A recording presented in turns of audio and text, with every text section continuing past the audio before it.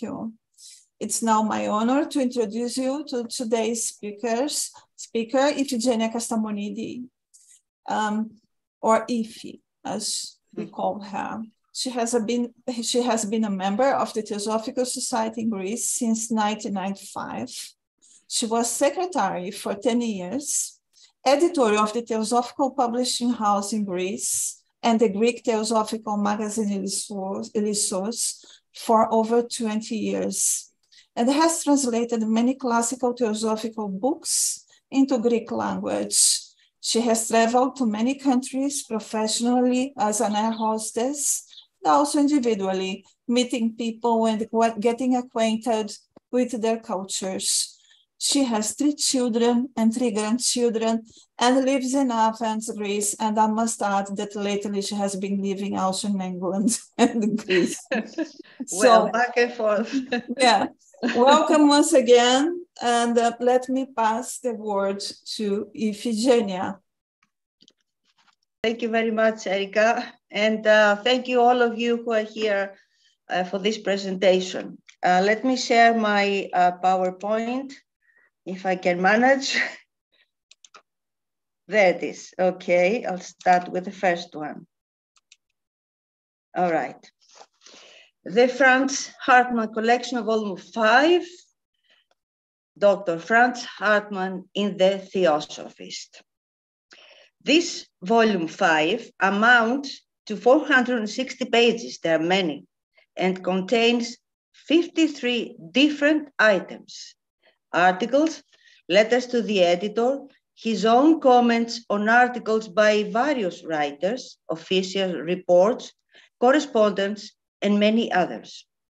Hartmann used to sign his articles, etc., in different ways, some with his full name, Franz Hartmann, or his initials, FH, or just H, and others with a pen name such as American Buddhist or with the initials AB and MD. Volume 5 starts with editor's preface, that is Erika. Then follows the frontispiece and a very informative description of it, written by Hartmann himself. The same frontispiece is found in all Hartmann's books published by the European School of Theosophy, as already mentioned by Erika last time. Next comes a brief introduction to the life and works of Franz Hartmann, MD, by Robert Hütwohl, while Hartmann's autobiography, written in 1906, can be found in the appendix on page 425 and after. The frontispiece, and there we go to Hartmann himself. As we know, Franz Hartmann was a Bavarian born doctor of medicine, a surgeon ophthalmologist, to be more specific, with a broad interest in literature. In 1882, he joined the Theosophical Society in America, and a year later, he traveled to India, where he settled in Adyar headquarters. He started writing for the Theosophist in 1883. His first entry, written in January 1883, while still living in Colorado, USA, was published in the May issue of the same year. It was not an article, but a letter to the editor, Elena Blavatsky, about Devachan, a subject that still puzzles and confuses all of us who are trying to understand this state of consciousness which occurs after physical death. In it, along with other things, he asks, open quote, how can a conscious existence in Devachan without activity or pursuit be one of satisfaction or enjoyment? Please explain. Close quote. His second entry, titled Reason and Intuition, was also a long letter to the editor, Blavatsky, with more questions on the same subject, Devachan, written in June 1883 and published in September of the same year. Other letters to the editor follow, which were all answered extensively by Elena Blavatsky. More letters to the editor can be found in this volume written by different people, to which Hartmann replies himself and comments on. The first of his articles now has the title My Experiences. In it, he describes his personal encounter with, open quote, letters appearing from the air, from thin air, close quote, or letters coming from the masters and addressed to members of the Theosophical Society of that time. Other articles follow on several subjects, such as occult phenomena, magnetism, medicine, and therapies according to occultism, astrological incidents of his life that came out true, etc.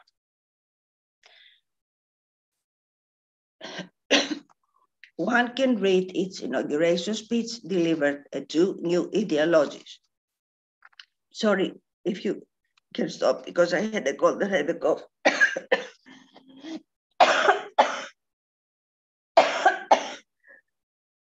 Sorry about that.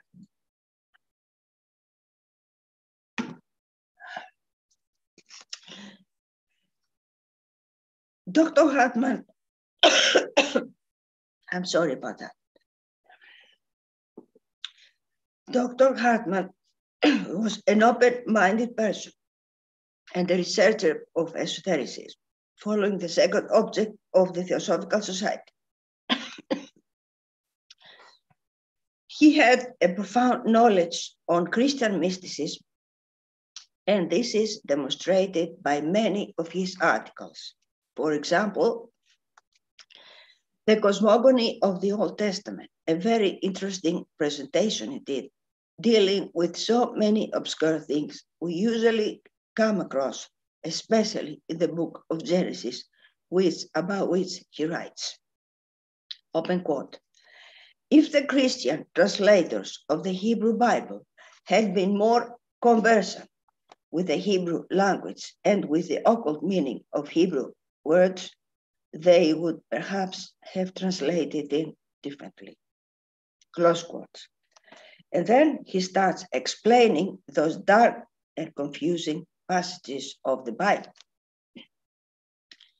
The same spirit follows his articles, Theosophy and Christianity, accompanied by his reply to a letter by EC to the editor regarding this article.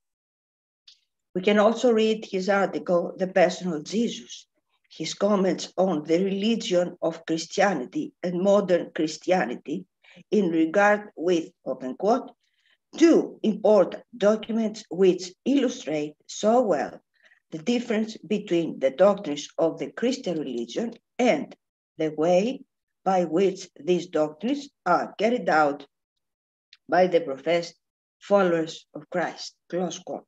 We were about uh, his article, Yoga Practiced in the Roman Catholic Church which deals with the use of spiritual exercises of Ignatius de Loyola, while the um, one, the other article on Buddhistic symbols and ceremonies in the Roman Catholic Church is accompanied by a nice image illustrating the descent of the Logos, the one you see here.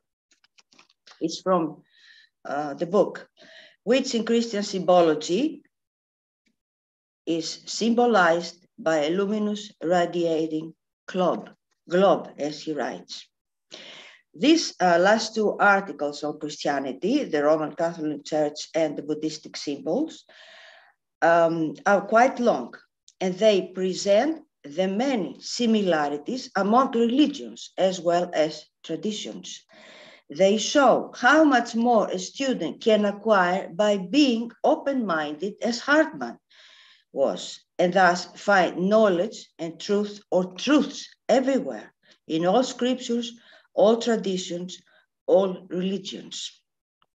Volume 5 includes official reports on various events in different places and book reviews written by Hartmann, such, such as the one on the inhabitants of the planet, written by Carl du Prel, the one on Koot Hoomi unveiled, written by Arthur Lillie, on a small pamphlet under the title The Government and the Buddhists in Ceylon, written by the Roman Catholics at Colombo against Buddhists, on Mr. Gribble's pamphlet about the Coulomb incident and others. There is also a book review written by Anna Ballard on one of Hartmann's books titled The Life and Doctrine of Jacob Boehme, 1891. This last one is under the process of being typed and published by the European School of Theosophy. Perhaps next year Erika knows better.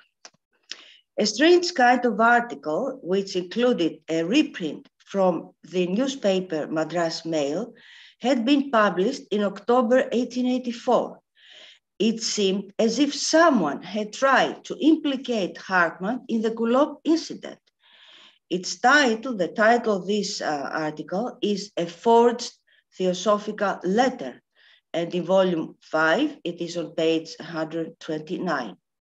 Both Olcott and Hartmann comment on and reply to it.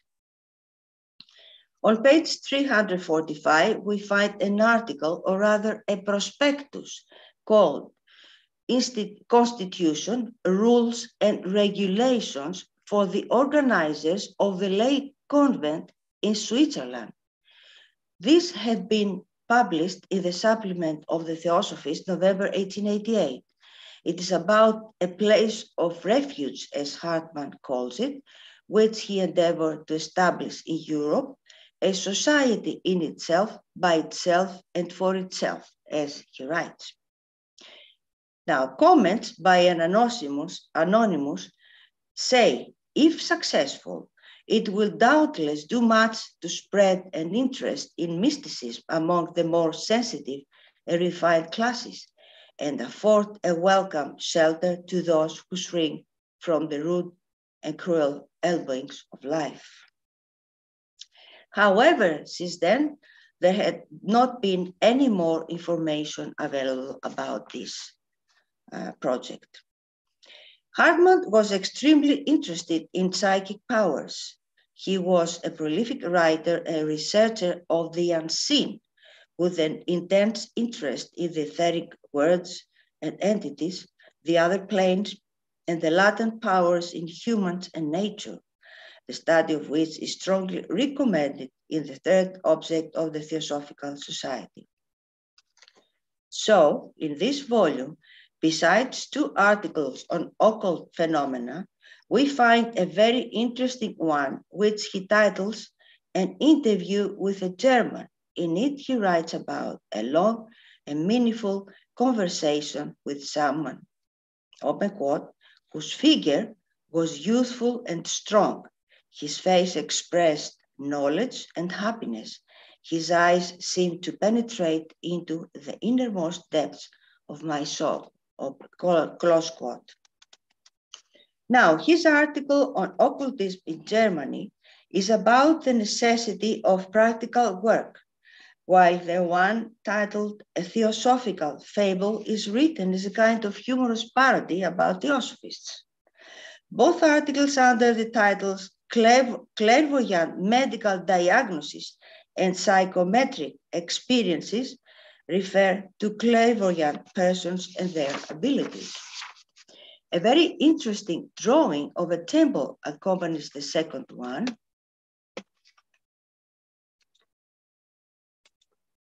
It's this.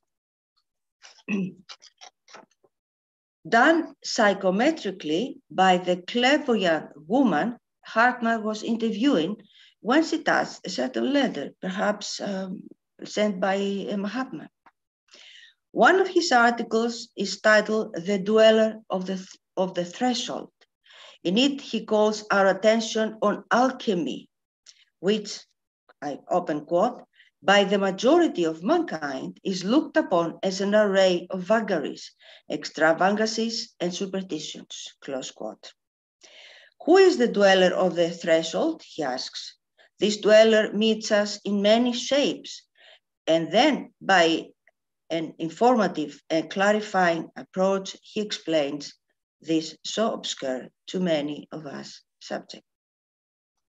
We also read articles such as The Five Creative Powers in the Universe and the Inner Life, in which he compares the 25 letters of the English alphabet to the 25 compound elements of tattvas, according to Shankaracharya's teachings. Among others, he also analyzes the correspondence of sound to the Hebrew letters. In his article, The Dangers of Occultism, he points out how easy it can become for every researcher to be led astray by misunderstanding the theosophical and occult teachings. And in his article, A Forgotten Mystic and Occultist, he writes about John Pordage, the life ideas of a celebrated mystic of the 16th century, as he calls him.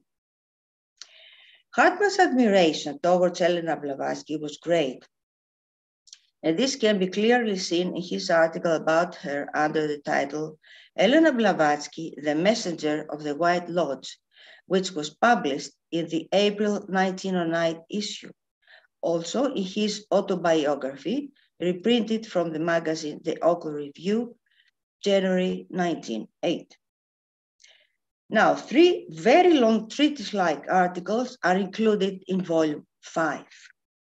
The first one is on Rosicrucian letters, which Hartmann translated from German.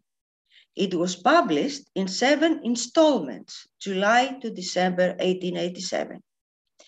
Each one of these installments deals with a different subject given according to the Rosicrucian teachings. So we read about divine wisdom, the practical way to approach the light, truth absolute and relative, the secret doctrine, the adepts, personal experiences, and the brothers, with uh, which he says is an extract from an occult letter of 1801.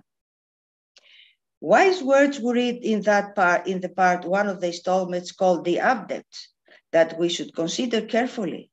Today's world is so swept away in materialism that words like this are necessary to guard us from being influenced by this materialism. Extremely interesting, I would say, is the installment called personal experience, which proves beyond any doubt the axiom open quote, when the pupil is ready, the master will appear, close quote. There are many ways in which such a teacher may appear to a person when the time is ripe. And here, in this volume, in this uh, long article, we find a representative paradigm that one should read carefully. Open quote. It was in the summer of 1787 when I was sitting upon one of the banks in the public gardens near the Berg Castle at Munich, Bavaria, and thinking deeply about the subject, the master and the teacher, the, the, the teacher and the pupil. When I noticed a stranger of a dignified and imposing aspect, but in unpretentious clothing, promenading upon the graveled walk. There was something about him which attracted my attention. Well, the next day, at about the same hour, I went again to that place, hoping to meet the stranger again. He was there, sitting upon a bank and reading a book. Close quote. And the text goes on by describing how the conversation started between the two and all that happened afterwards with the strange man who proved to be the teacher while the narrator his pupil. The second long treatise like article, published in 12 installments this time, 1884 1885, demonstrates the extending, his extending knowledge on theosophy and occultism. It is titled Practical Instructions for Students of Occultism. These instructions will be found most valuable as a help towards the practical realization of the sublime truths that have been given out in various books. Thus, we read about freedom, the power of will, the development of will, knowledge, the forbidden fruit, imagination, intuition, the real and the unreal, man, the twofold action of the law of karma on the various planes, consciousness and ideation. All of this presented according to the theosophical and occult teachings. Finally, the third long treatise-like article is a very interesting and intriguing one, an actual book of the 18th century, also translated by him from German and published in the Theosophy 1884 in seven installments. It is called Magicon, or The Secret System of a Society of Unknown Philosophers. The instructions included in it were based on Martinez Pasqually, the founder of the sect of the Martinists, and his disciple, Louis Claude or Marquis de Saint Martin. They contain a lot of information on that mystic society and its teachings and are very useful for those of us who do not know much about it, me included, obviously. They also contain many extraordinary ideas which, although they may not, may not appear new to the theosophist, are nevertheless interesting to the lovers of occult lore. In them, we find references on clair clairvoyance, psychometry, and a satisfactory explanation of the occult meaning of numbers and mathematics. Volume 5 includes, uh, concludes with an obituary written by, Anne Be by Annie Besant and published in October 1912 after Hartmann's passing in August of the same year. And we have the plaque in front of his house. Then follows an extract from a letter to Franz Hartmann in Master's K.H. handwriting, dating 1884 which Zinara published in the Theosophy, September 1933. Volume 5 of the Franz Hartmann collection ends with his autobiography in the appendix on page 425 and after, in which he describes interesting incidents of his life, his experiences during his travels, and alongside Elena Blavatsky, Henry Olcott, William Judge, and others. Nice photos of several places are incorporated into the appendix, picturing places that he had, he had visited during his travels. Also, a funny caricature on page 443 called The Initiation, drawn by Elena Blavatsky herself, whose, open quote, sense of humor was very great and she loved to make sport of even her closest friends, close quote.